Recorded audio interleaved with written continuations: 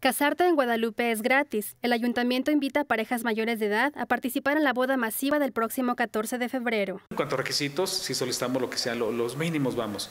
Obviamente el acta de nacimiento de nuestros contrayentes, que sea original y dos copias, examen prenupcial eh, eh, y aquellos que ya tengan, porque algunos ya tienen familia, eh, nada más que nos anexen una copia simple del acta de nacimiento de alguno de sus niños, de sus bebés, también la copia de la cartilla del servicio militar del contrayente, si es que la tuviese.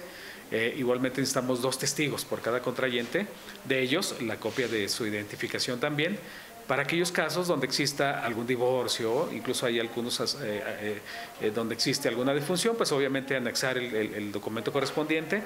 También lo que se necesita es una copia simple también de su credencial de lector de nuestros contrayentes.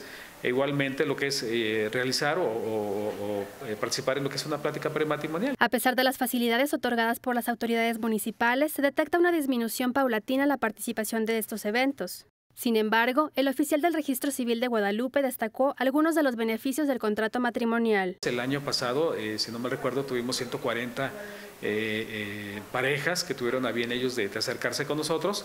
Para este año, pues nuestra meta podría ser, pues obviamente rebasarla, si se puede, pero vamos, sí hemos visto que habido una, disminución y no sé, tal vez estamos hablando tal vez de unas 80 parejas, cuando mucho. Cuando tienen su acta de, matrimonio, pues obviamente pueden acceder a muchas situaciones como la seguridad social, el caso de que, eh, Dios no lo quiera, vamos, que alguno de los contrayentes llegue a faltar, obviamente hay una seguridad también, incluso también para la persona que se quede viuda viudo a fin de que pueda hacer efecto también, vamos, de algún seguro, de alguna situación.